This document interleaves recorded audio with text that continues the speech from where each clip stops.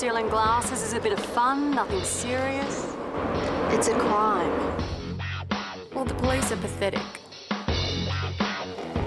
They do nothing. Enjoying your beer there, boys? Yep. You're buying the beer, not the glass. I'll be watching you, boys. That's why this task force has been created. We've got Teddy here. He's a killing machine. It's a great job.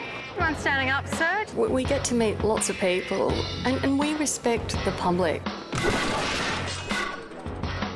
Mistakes. We work in a tense environment. We have to make split-second decisions. Nobody's perfect. Who the f- are these guys? Lost my job, all those glasses came in my pay. Favourite part of the job. I guess the best thing is, is being outdoors. Glass theft is a serious problem. Oh, we've seen it all. You know, they try everything.